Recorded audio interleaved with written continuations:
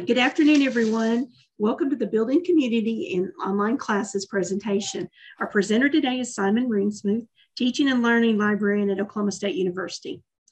Research has demonstrated the effectiveness of creating a sense of community in the classroom environments, but this is difficult to do when teaching online. This session will demonstrate successful methods of using simple technologies and teaching practices to create a community of connected, engaged learners in online classes. I'm really interested in this because I teach some online classes and I always need to learn more about this. Very good. Um, if you have a question, just throw it into, put, don't throw it, type it into chat. And Simon, if you're ready, take it away. All right. Thank you, Lisa. And thank you, everyone. Before we get started, I actually have a request for all of you. Um, please turn your cameras on if you're in a position to do that and uh, mute yourself. And uh, then feel free to unmute yourself. Uh, this session is all about building community in online class. And I think being able to see each other is such an important part of building a community. So we're, we're modeling here the behaviors that we're going to be talking about. And look, I get it. Um, I'm, I'm at home today. And for the, all the sessions up to now, I was in the other room and there was, uh, uh, pile of my kids' laundry in the background. So that's one of those things I didn't even think about till later. So I get it. Um, it's not always ideal, but it is. We are who we are, and I'm not going to make any apologies. So um, uh, thank you all for turning your cameras on so we can see you. And if you can't, no worries at all. Um, we're going to talk about building community in online classes and quick agenda for you. We're going to talk about community engagement. Uh, we're going to talk about challenges to building community, and then uh, what I think you're all probably here for is some solutions. And these are solutions that um, I have developed for me that may or may not work for you, but um, they build on a lot of research and a lot of best practices. And so I want to talk about how I have built community in my online class. I'm a librarian at, Oklahoma, at Oklahoma State, but I'm also a faculty member, and I've been teaching uh, both online and face to face for years. And uh, that's where some of this comes from as well, just my own personal experience. I also encourage all of you to participate. If you have any questions, if you have any comments, if you just want to know, like, what's that thing behind you on the shelf, write it in the chat. Um, we're, we're all here to, to interact and learn from each other. So please, I encourage comments. There will be a few times when I specifically ask for comments, but just generally speaking, I do encourage comments. Um, let's talk community engagement. And we only have about 25 minutes, so we're not going to dwell too long on any one thing. I uh, got a lot to cover, but I want you to know that a lot of this is built, a lot of what we're going to talk today uh, builds on work that has been done, even in this very conference. Um, in fact, much of this session aligns with the community of inquiry framework that was discussed on April 1st, a week ago, in a session presented by Nancy Gwynn, Kate Brashears, and Marcy Tanner. If you didn't get to see that session, uh, I highly recommend going back and watching the recording. This is um, one of their introductory slides that I quick screenshotted because their presentation was so good. So um, I encourage you to go back and watch uh, what they discussed, and it, it, really does build on the work that we've done in this conference so far. So community and online classes, community and engagement. There's a lot of research that's been done here, and research is one thing. Uh, the name of the presentation was.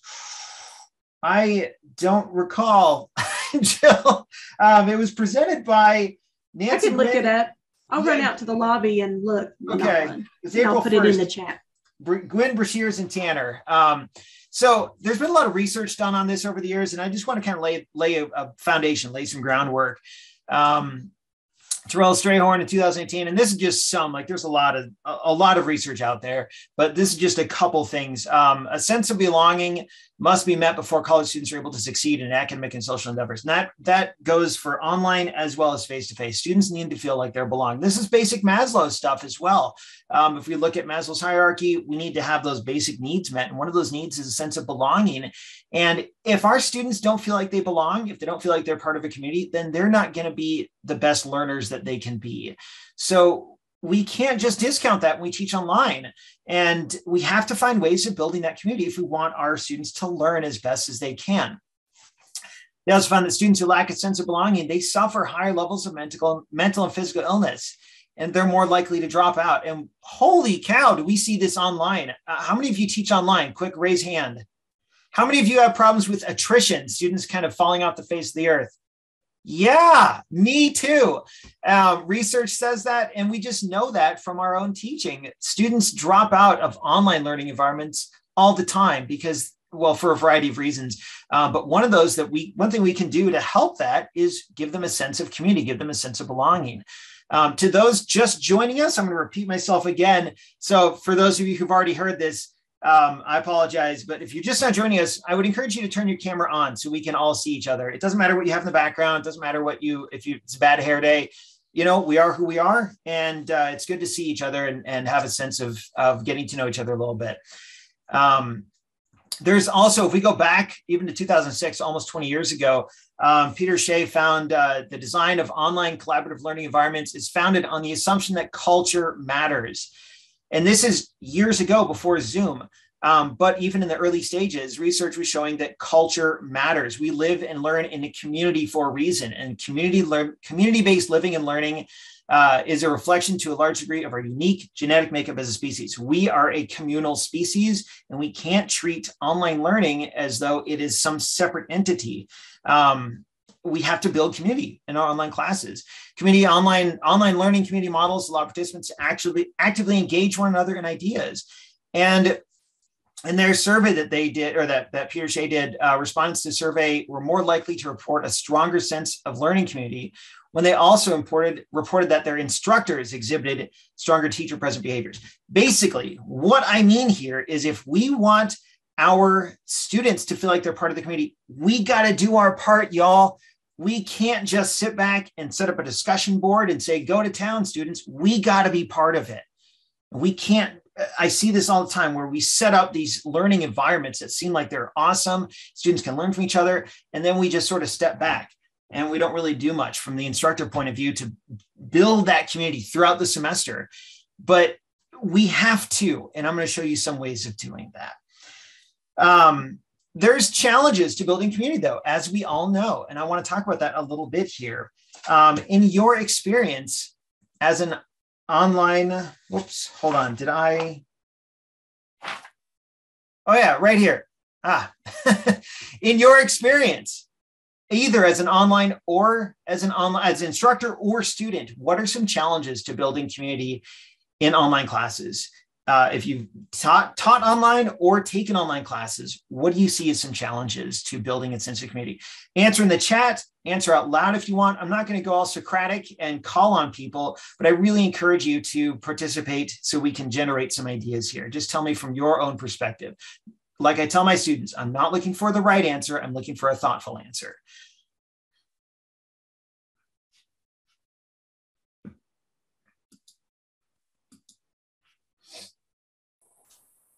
Um, staying on task, I think, is difficult as a student because you don't have that um, weekly check-in with the uh, with the professor every time. Yeah, Jill, staying on task. I, I hear you right there. Thank you. Sephora said um, some of the instructors are uncomfortable being on camera. Oh yeah, uh huh. I know what you mean there. Um, man, a ton of good stuff in the chat. Thank you, everyone. Asynchronous nature makes it difficult to form genuine connections. Yes um, participated, isolated, unsupported. Thomas, that sounds exactly like me when I was an online student. Um, uh, just like I'm in it by, alone, and like um, there's uh, there's uh, there's other classmates, but I feel like I'm just treading these waters by myself. Awkwardness, um, connecting students who log in maybe once every week. Um, it's difficult to get students interact inter- interact with each other. Lisa, yeah, wow, there's some problems, isn't there? Um, as much as we like to think that technology can solve all these problems, maybe the metaverse will fix it for us, right? Maybe that'll finally crack that nut. Um, Ali, it's submitting things into a void. Holy cow. Yes. Ali, I hear you on that one. By the way, thank you for this is like the most active chat I've seen for this whole event. This is awesome. Thank you. Um, lack of nonverbal cues, internet issues. Yes, we're not out of the woods yet. We still have students who just don't have great internet. Um, there's a lot of challenges. And I'm just going to reiterate some of these because I already put on my PowerPoint. Lack of in-person contact. There's a lot. There's no opportunities for natural collision that happen in an office environment. I work uh, in a in an environment where sometimes I'm by myself and sometimes I'm just colliding with other people in the hallways and stuff. And it's good to have both. Um, interactions feel forced. Yes. Um, uh, when we do have interactions, it can feel like um, we're, we're, it's just artificial and not authentic. a lot of students, online students, have what I call max out the minimum. They look and see, okay, when do I need to post on discussion board? All right, I'm going to wait until 11:58 p.m. and write my post. How many people do I need to respond to? Three. Okay, I've done three. I'm good to go. How many of you have that sense where, as an online student, you saw your classmates doing that, or you've had this happen to your students? Raise your hand, or uh, yeah. yes, exactly. We're not alone, you guys.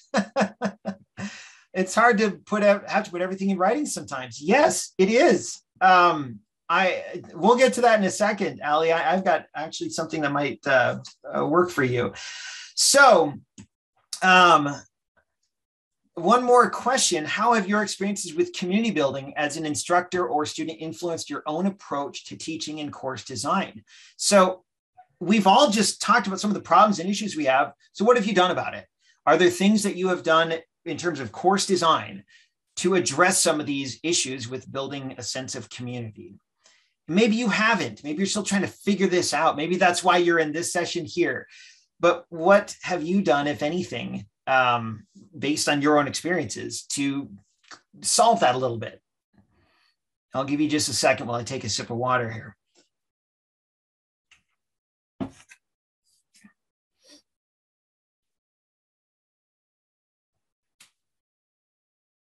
And if you haven't solved it yet, no worries. I think we're all still trying to figure this out. Sephra said, give students different options of how to post in discussion board. Has that worked out okay for you, Sephra? Okay. It it depends a lot on the, the who the students are in mm-hmm. my experience. So if mm-hmm. students are really comfortable with technology, mm-hmm. then a lot of times they would they see the benefit and they would much rather just make a quick video of themselves than yep. write out a full thing. But if they're less comfortable with technology, they'll often still opt for the the writing option, which is okay. But you know, if they see each other's faces, um, a lot of times that that does tend to feel like it builds the community a little more. They feel more comfortable with each other. Yep. I, I know exactly what you mean. Um, and then Lisa had a really good answer in the chat as well. Um, I, I need to move on to solutions. So here are some, man, this is like a 20, I feel like I can talk for an hour about this. I, I don't mean to rocket through this at 100 miles an hour, but um, I, I thank you everyone. Ali, Thomas, great answers in the chat. Add multimedia, um, engage with the abilities of the LMS. This is good stuff. Let me share some of my solutions to building community in an online class and see if these resonate with you. There are five things that I have done that consistently help work towards solving this problem. Um, number one, I have my students do self-introduction, which is a fairly common thing. A lot of people do that. Um, I also do extended group projects. And I'll, t- I'll tell you about what these mean. This is sort of the broad overview. We do whole class virtual meetings um, I rethink discussion boards and, and I have thought about how to make discussion boards a little different, a little more effective for me. And I want to share with you what I've done and instructor video updates. Uh, so those, that's the broad overview. Let me dive into each one of those. And please, um, if you have questions, comments, share it in the chat. I want to I want to talk about all of this with you. Self-introduction. This is really important because it gets the semester started on a really positive note. It helps students get to know each other at the very beginning of the semester.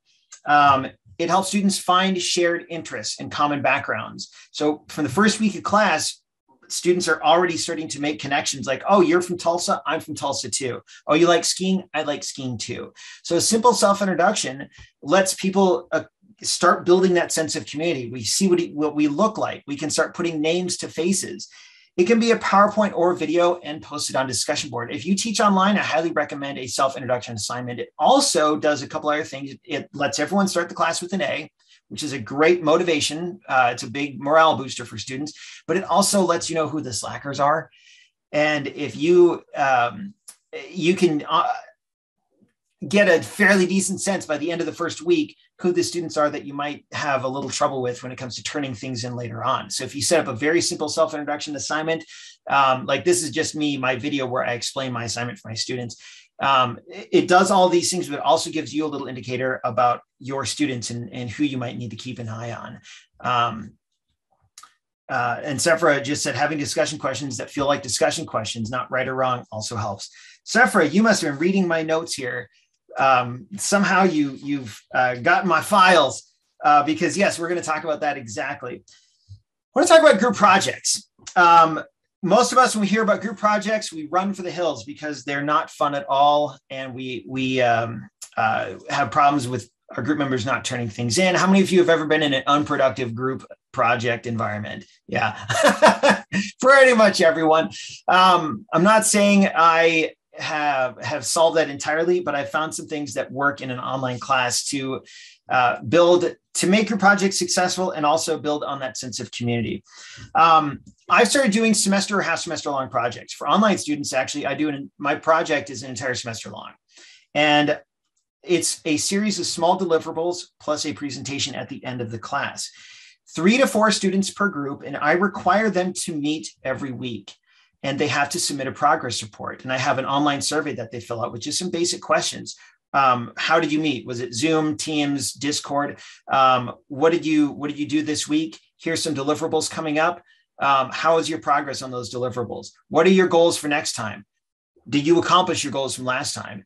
Um, during the first two or three weeks of class, I have an onboarding time where I let I, I students know who they're working with, and I I have them use that first couple weeks of class to find a time that they can all meet for 15 minutes every week. And I have yet to encounter an issue where a group of three to four students can't find 15 minutes to meet during the week at some point.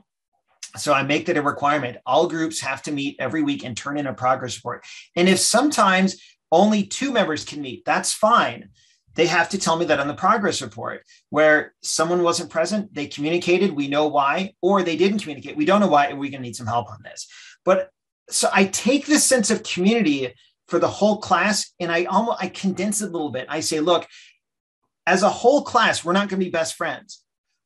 But i want you to build a community of learners of just two or three other people or four other people and engage deeply with those people throughout the entire semester.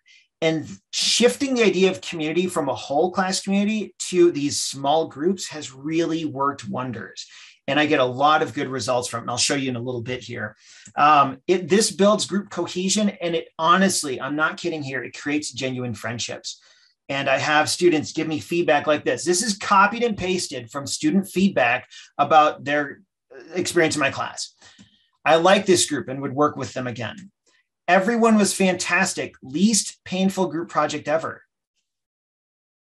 Seriously, we, we all worked well together and was able to accomplish everything we needed to do. The case study was cool to learn more about, and the other group members made this a fantastic project. This was probably the best experience I've ever had working in a group in my entire college study. I make them meet every week I know, Sephra. um, I make them meet every week. They, I don't care if they meet at midnight, but they have to find time to meet every week. And they use the first three weeks of class to find that time to meet. And they, even if there's no deliverable due that week, they still have to meet because, like um, Allie said, Allie's very habit driven. I make my groups form habits of meeting every week, and then they have deliverables to turn in. Um, I also do whole class virtual meetings. I got this idea from another instructor. It's an online asynchronous class, but at the beginning of class, I say, we're going to meet five times, all of us on Zoom, just like we're doing here.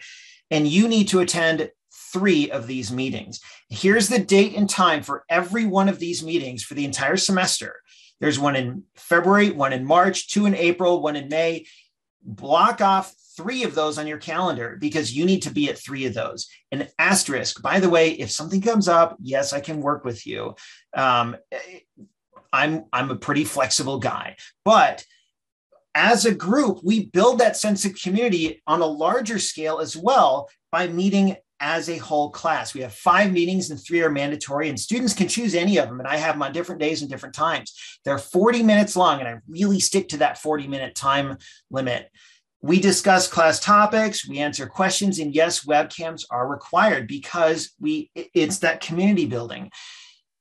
I don't expect all of us to be best friends in the online class, but I do expect my students to feel like they're part of something larger. So in their small group projects, they meet with just a couple people every week and they really form a bond that works throughout that, that they build on throughout the entire semester. But in the large group, we do get a sense of everyone else in class as well. So these whole group meetings, they build on the communal elements from the small groups. We do real-time Q&A, just like we do, we're doing in this meeting right now. It's a casual atmosphere. It's on-the-spot feedback. Uh, they're funny, they're lighthearted, um, but they're also focused and professional. I have an agenda, just like I showed you all at the beginning of this session, and we stick to that agenda, but we keep it casual. And it's a way of building that sense of community. So let's talk discussion boards. I recommend rethinking discussion boards entirely. And this is one slide. I have an entire presentation on these discussion boards. I'd be happy to talk more uh, separately if you want. Um, I use discussion boards not for discussion at all. I use them as a way of submitting public assignments. Um, so they they have a deliverable they have to turn in every week, and they they turn it in on discussion board. I give my students what I call a scenario analysis. Every single week, I give them, it's a project management class I teach, and I give them a fake scenario. And it's based on real life, but I say, here's your scenario for this week. And I record a video of myself sharing the scenario. And I say, how would you solve this scenario? I don't need a wrong. I'm not looking for a right or wrong answer. I'm looking for a thoughtful answer. And they have to record a video. I don't give them the option of recording, of writing text they must record a video and that makes them uncomfortable. But a couple weeks into it and they settle into a routine and it works great. And forcing them to do a video where they're not responding to other students back and forth they're just analyzing the prompt. We move the communal element away from discussion board. The community building takes place in their small groups and in our whole class meetings. The community building does not happen on discussion board that's where they engage with the scenario analysis prompt. They engage with the content. The discussion boards are not for interactive discussion.